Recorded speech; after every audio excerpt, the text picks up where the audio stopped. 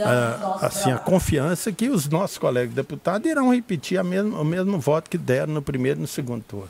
Deputado, muito obrigado pela sua presença. Obrigado. E nesse momento foi aberta pela deputada Macaé Evaristo a reunião ordinária de plenário da tarde desta terça-feira. Vamos agora fazer ouvir a leitura da ata da reunião anterior, que vai ser feita pelo deputado Elismar Prado. Vamos acompanhar. Legislatura, em 11 de março de 2024, destinada a comemorar os 50 anos de criação dos Conselhos Federal e Regional de Enfermagem, Presidência, deputado Enes Cândido. Às 19 horas e 15 minutos, a presidência declara aberta a reunião. Comparece o deputado Enes Cândido. O presidente, nos termos do parágrafo 2 do artigo 39 do regimento interno, dispensa a leitura da ata, das atas das duas reuniões anteriores, as quais são dadas por aprovadas e as subscreve. Informada a destinação da reunião, Compõe a mesa o excelentíssimo senhor deputado federal Bruno Farias, presidente do Conselho Regional de Enfermagem de Minas Gerais, Corém MG, e as excelentíssimas senhoras Maria do Socorro Pacheco Pena, vice-presidente do Corém MG, Lisandra Caixeta de Aquino, conselheira suplente do Conselho Federal de Enfermagem, COFEM, representando a presidente Betânia Maria dos Santos, Isabel Giovana Quispe Mendonça, professor e vice-presidente da Associação Brasileira de Enfermagem, seção Minas Gerais. E Neuza Freitas, diretora do CIN de Saúde. Registrada a presença de convidados, houve-se o nacional. E após a exibição de vídeo, fazem uso da palavra o presidente, autor do requerimento, que deu origem a esta homenagem. E após a entrega de placa, o deputado federal Bruno Farias. Isso posto, a presidente profere palavras alusivas ao evento, agradece a presença de todos e, cumprindo o objetivo da convocação, encerra a reunião, convocando as deputadas e deputados para a ordinária de amanhã, dia 12, às 14 horas, com a ordem do dia a ser publicada, e para esta ordinária também de amanhã às 17 horas, nos termos do edital de convocação. Levanta-se a reunião. Em discussão a ata, não havendo quem sobre ela se manifeste, doa por aprovada. Com a palavra, o deputado Douglas Melo para, nas funções de primeiro secretário, proceder à leitura da correspondência. Mensagem do excelentíssimo governador do Estado, Romeu Zema Neto, mensagem número 121, barra 2024, encaminhando o projeto de lei número 2127, barra 2024, que institui o Serviço Social Autônomo de Gestão Hospitalar. Presidente.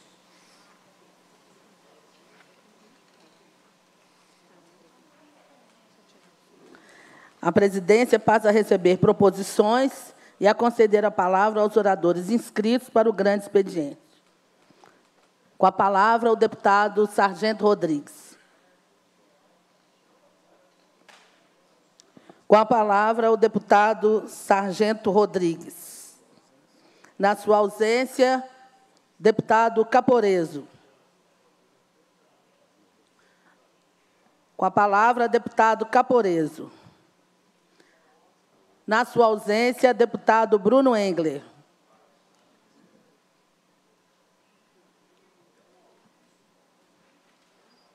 Boa tarde, senhora presidente. Boa tarde a todos os colegas aqui presentes e a todos aqueles que, de uma forma ou de outra, acompanham essa reunião.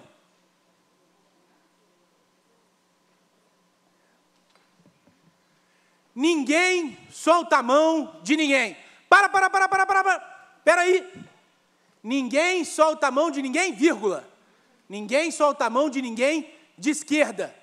Eu venho aqui hoje, nessa tribuna, lamentar o ocorrido nessa casa no dia 7 de março, véspera do Dia Internacional da Mulher.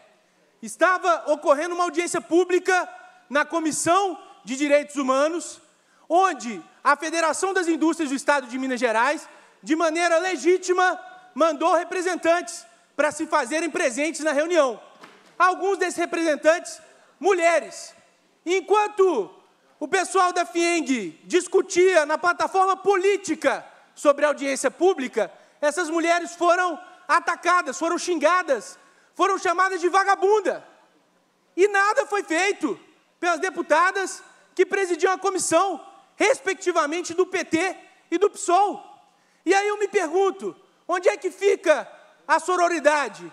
Onde é que fica o combate à violência política contra a mulher, tão repetido aqui dentro dessa casa? Depois foi descoberto que esse cidadão, esse pseudo-ambientalista, é ex-assessor de parlamentar do PDT, lá na Câmara em Brasília. E ninguém se pronuncia, ninguém fala nada. Por quê?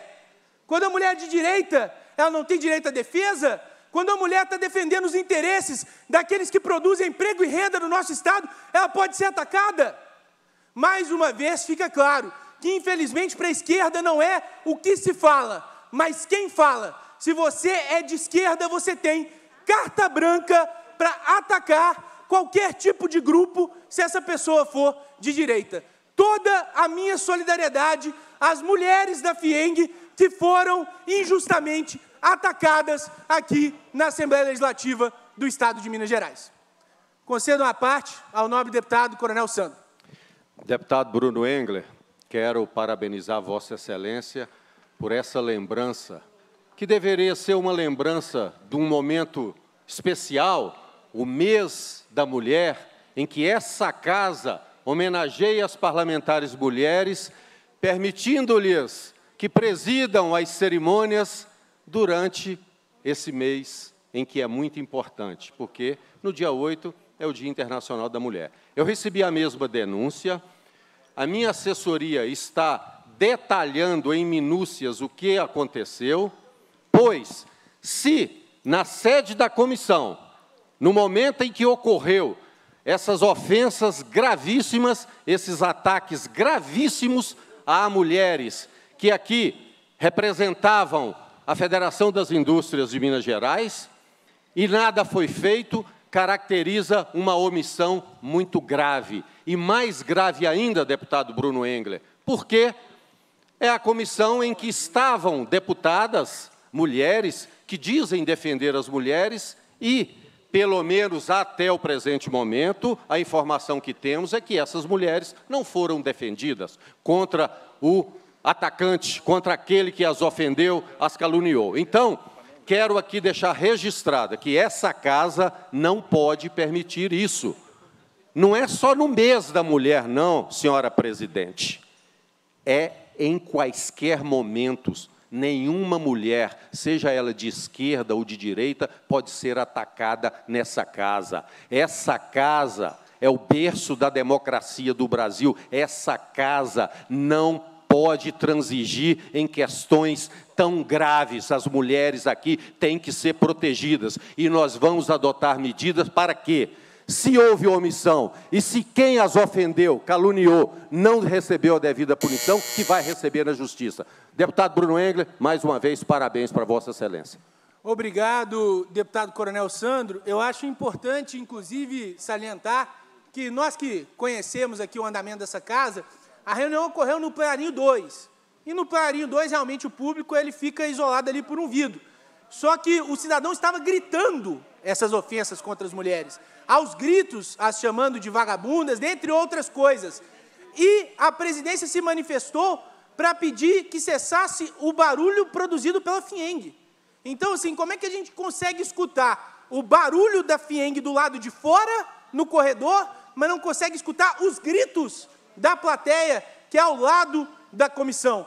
Então é importante esse posicionamento, e como Vossa Excelência muito bem colocou, não só no mês das mulheres, o respeito às mulheres ele precisa ocorrer durante todo o ano, durante todo o mandato. Mas, simbólico, dia 7 de março, véspera do Dia Internacional da Mulher. Então a gente lamenta que muitas vezes, para alguns setores, para setores da esquerda, essa defesa da mulher é ideológica. A gente defende a mulher que é feminista, a gente defende a mulher que é a favor do aborto. Agora, se vê uma mulher defender a vida desde a sua concepção, aí não precisa de defesa. Isso vale para todas as minorias. Lamentavelmente, o negro de direita é chamado de capitão do mato. O gay de direita é o gay homofóbico. É lamentável esse tipo de coisa. Como eu disse anteriormente, não é o que se fala, mas é quem fala.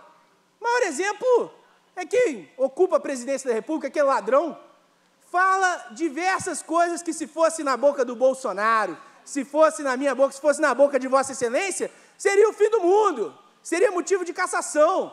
Mas aí quando Lula fala, é gafe, deslize, ele se expressou mal, não foi isso que ele quis dizer. Lamentável esse duplo padrão. Tanto se fala aqui da defesa das mulheres, tanto se falou e se discutiu o combate à violência política contra a mulher, mas quando a gente tem uma situação prática de um militante de esquerda atacando mulheres de direita, o que a gente tem nessa casa é um silêncio ensurdecedor. Então, absolutamente lamentável o ocorrido na quinta-feira, dia 7 de março, aqui na Comissão de Direitos Humanos dessa casa. Era esse o meu pronunciamento. Muito obrigado, senhora presidente. Pela ordem, presidente. Artigo 64. É, eu sei, mas eu gostaria. Ok. Eu gostaria de solicitar a Vossa Excelência. Pois não, deputado. Nós nos encontramos no mês, o dia 8 de março, na semana passada, em que todos nós, num compromisso, no mínimo, no mínimo, de educação com as mulheres, de respeito profundo com a condição de desigualdade que estamos na sociedade, e é lamentável que um deputado suba à tribuna para proferir palavras de baixo calão. É claro que o deputado, quando traz alguma coisa ao plenário, ele traz aquilo que tem dentro de si. É por isso que, recorrentemente, utilizam a fala trazendo muita feiura, coisas que são profundamente desumanas e criminosas. Acusar o presidente Lula daquilo que eles não podem dizer ao ex-presidente, que eles são responsáveis por ter colocado e por ter trazido tanta desumanidade, genocídio, morte, terraplanismo, fascismo, todos os adjetivos que eu até gostaria de não repeti-los em respeito à presidência da nossa querida deputada Macaé. Então, em razão desta ofensa, o artigo 64 eu evoco para que a gente tenha um mínimo de dignidade ao tratarmos também sobre a presidência de uma mulher sobre coisas que realmente nós, no regimento interno e na nossa dedicação política à vida, não devemos proferir neste espaço que é para nós um espaço do parlamento, espaço onde a gente tem que respeitar não só os colegas, mas a nossa sociedade. Muito obrigado, deputada. Deputado Leleco. Artigo 64 é quando cita um partido político ou bloco parlamentar, tá? que tenha sido citado em pronunciamento e não tenha tido oportunidade de manifestar-se. Como agora a palavra é do senhor, o senhor é o próximo inscrito.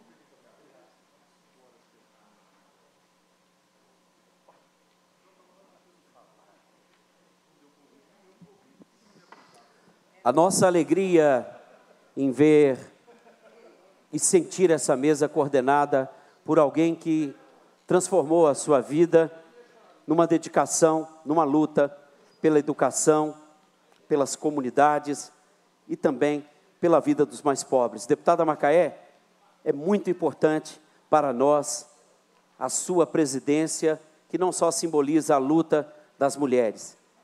Gostaria de iniciar essas palavras também em respeito profundo com nossa vida.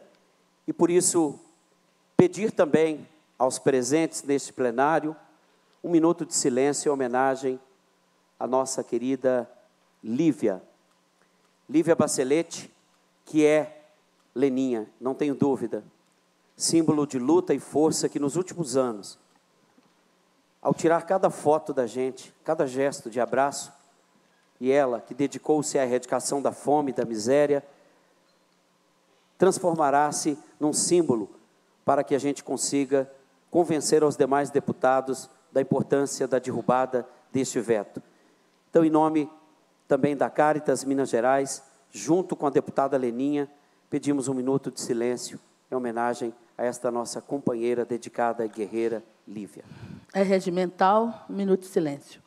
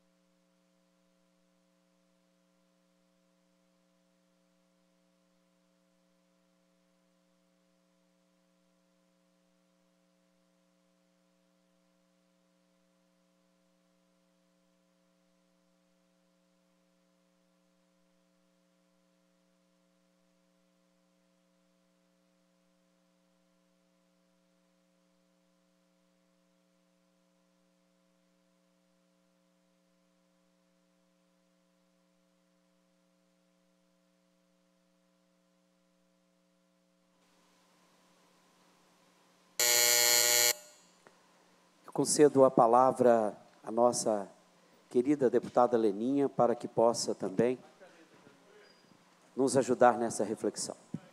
Obrigada, deputado Leleque. Eu queria fazer um cumprimento especial à presidenta dessa sessão, a deputada Macaé. Queria também cumprimentar todos que nos acompanham pela TV Assembleia e pelos canais de comunicação.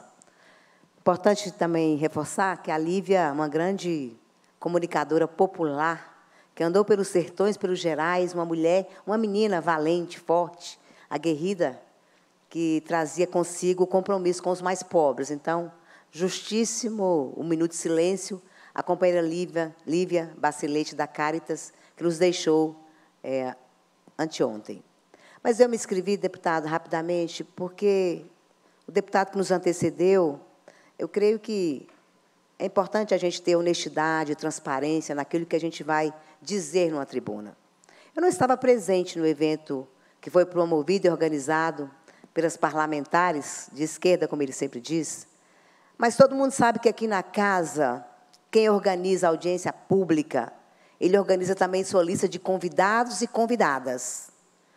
Então, não pode qualquer instituição ou entidade, por maior que ela seja, querer ser convidada numa audiência, querer ter voz numa audiência que não foi convidado. Se a, é, a determinada instituição quiser fazer debate do mesmo tema, a casa é livre. Aqui há vários deputados que podem organizar uma audiência para que essa instituição seja ouvida, que ela possa colocar o posicionamento dela. Mas a casa não obriga o parlamentar que organizou a audiência a convidar setores que ele não quer que seja convidado.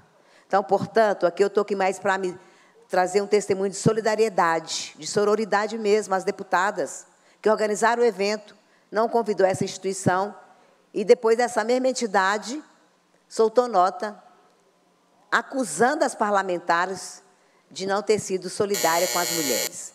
Então eu quero só dizer isso mais uma vez que nós mulheres não queremos ser também utilizadas e usadas, que as instituições de fato têm uma política de fortalecimento da presença das mulheres, de contribuição das mulheres. Mas por que, que nessa audiência só as mulheres que vieram falar? A gente quer ver essas mulheres também debatendo outros temas nesta casa. Então, a gente está aqui para deixar nossa solidariedade, nosso apoio às deputadas que estavam é, não só presidindo essa audiência, mas presentes nessa audiência, e dizer que a casa de fato é democrática, mas que cada um organize sua pauta, cada um organize suas defesas, mas não pode sair por aí acusando parlamentares, como foi feito com essa instituição que soltou uma nota na semana passada. É isso, deputado. Muito obrigada pela parte. Deputada Leninha, a senhora sempre com essa generosidade e cuidado, eu talvez um pouco mais inadvertido posso dizer. É uma vergonha a presença da FIENG dentro da Assembleia Legislativa, tentando colocar o dedo na cara de deputada, eles que tomaram lado na história de representar aqui as mineradoras e este governador, que hoje é o grande propagandeador da ocupação dos territórios por mineradoras que levam a vida, que excluem, que matam, que tiram direito à água. Portanto, quem resolveu vender a sua alma não tem direito, não tem direito, não tem condições éticas de apontar caminhos e muito menos de apontar o dedo na cara das deputadas. Lamentável que o deputado que aqui sobe para defender a FIENG torna-se um discípulo deles, que são aqueles que trazem morte. Aqui a palavra discipulado é utilizada para que a gente possa distinguir aqueles que defendem a vida e aqueles que, fariseus, hipócritas, vêm aqui apontar dedo para as companheiras. A gente, quando exalta uma companheira sob a presidência dela aqui na tribuna, falo, a gente não está aqui com nenhuma hipocrisia, a gente está numa defesa para que a vida seja de fato uma vida onde a igualdade seja o rumo do político. Porque o rumo daqueles que querem, numa expressão moral, apontar o dedo e atacar, inclusive as mulheres tentando com que isso é, faça com que as suas redes sociais tenham mulheres que ainda não cresceram em consciência, mas que vão ter o direito e que durante a vida, a vida ensina. Nesse sentido, nosso repúdio à postura da FIENG e das pessoas que vieram na Assembleia Legislativa atacar as deputadas. Nesse sentido profundo, nós estaremos aqui combatendo esses canalhas. E digo novamente, canalhas. E quem defende canalha, que se sinta de igual forma. Eu estou aqui também para dizer, deputada Leninha, que a sua atitude ontem de ir ao agora acampamento, uma ocupação que ocorreu desde o dia 8 de março, com mais de 500 famílias, no município de Lagoa Santa, que a sua postura ética de transmitir dessa institucionalidade, que é como vice-presidente da Assembleia Legislativa, fazendo com que as instituições pudessem ali permitir a entrada daqueles que querem saber qual a real situação de idosos, mulheres e crianças. Portanto, a sua presença, junto com a deputada Bela, com o vereador Bruno Pedralva e tantos outros que já puderam prestar sua solidariedade, e que amanhã, aqui eu aproveito para convocar a todos, porque amanhã nós teremos audiência pública no TJ, na Afonso Pena, para que a gente possa acompanhar este desfecho. E queremos justiça, uma terra improdutiva que não conseguiu comprovar produção alguma e que agora tem famílias se propondo a produzir alimentos de qualidade para que a gente diminua ainda mais a miséria e a fome. Deputada Bela, de igual forma faço aqui ressoar a brilhante audiência pública. Eu tive a oportunidade de presidir no início como vice-presidente da Comissão de Assuntos Municipais e sucedido que fui pela brilhante forma como conduziu, com textos, com estudo, com capacidade profunda e sensível de ler como é que está havendo desvio na utilização de recursos que devem cobrir a ausência do Estado quando a fome chegou, quando o, a estrutura dos SUAS, que são os CRAS, CRES, de todo o serviço socioassistencial, que conta hoje em Minas Gerais com um parco recurso por pessoa de R$ 2,40. E quando a gente pega no portal da transparência, Vem aqui deputados que votaram junto com a gente agora, balançados, e passando agora pela chantagem do governo a ter que retirar o voto, a mudar a cara. É gente que, conforme o vento balança, vai mudando. E é claro que a nossa tentativa aqui é de que eles possam, em razão e consciência, derrubar esse veto aqui no plenário. Parabéns, Bela Gonçalves, que teve o apoio de diversos municípios, do COGEMAS, de vários secretários de assistência social, que trouxe números nítidos de como é que esses recursos retirados dos municípios vão precarizar ainda mais a política pública de assistência aos que mais precisam, sejam os que passam fome e sejam aqueles que hoje não possuem salvaguarda do Estado, porém, quando votaram aqui o aumento do ICMS, de 25% para 27%, foi acordado entre os deputados, os líderes, que este recurso seria gradativamente destinado para este fundo de erradicação da miséria. E claro, como quem nunca cumpre o acordo e tem a aparofobia como método de governo, tratar da fome nunca, mas gastar o dinheiro da erradicação da miséria com aluguel de carros, com propaganda, com pagamentos de funcionários, coisa que deveria, numa gestão eficiente, estar garantido no Tesouro. Tudo isto mostra que a ineficiência e a falta de transparência do governo Zema é lastimável. Quero ainda, por fim, ressoar a audiência pública que realizamos aqui na casa ontem, com a presença do deputado federal Padre João, também com a presença do deputado Rogério Correia Macaé, sobre o crédito fundiário, que é uma política complementar de reforma agrária. Hoje, o governo destina 280 mil para cada família, até para os jovens, para poder adquirir seu primeiro pedaço de terra e nela produzir, porque a terra, em se cuidando, tudo dá e alimenta o, o ser humano. Por isso que amar a terra e nela plantar semente é a forma da gente cuidar da terra, é a forma da gente cuidar da gente. E assim, fizemos uma audiência pública ontem, lamentavelmente, com a ausência do Banco do Brasil. Esteve presente o Banco do Nordeste, estiveram presentes assistências técnicas, esteve presente o, o MDA, o PC, o Antônio Veríssimo, junto também com representantes do MDA em Brasília, e juntos, deputada Leninha, pudemos trazer um cenário de mais de 1.600 famílias, 1.600 projetos que estão hoje tentando, com este recurso, ter acesso à terra para produzir e nela produzir alimento, cuidar da terra e cuidar da gente. Parabéns e nossa gratidão a todos que participaram.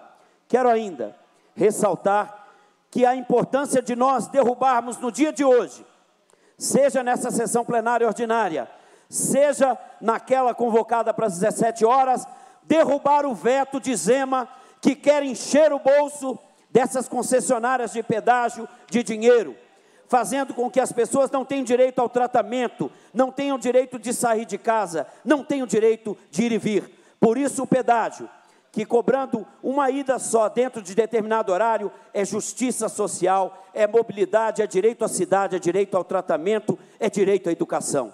E a gente, enquanto bloco Democracia e Luta, também aqui se soma aos deputados para que a gente possa hoje dar esta derrota, porque Zema, ele não deve estar só preocupado, não.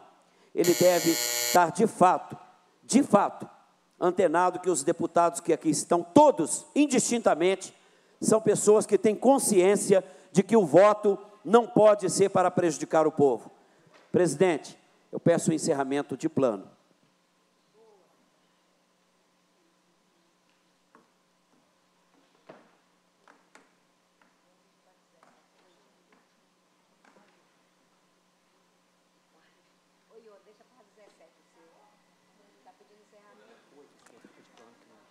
A presidência encerra a reunião e convoca as deputadas e os deputados para a reunião extraordinária de logo mais às 17 horas, nos termos do edital de convocação.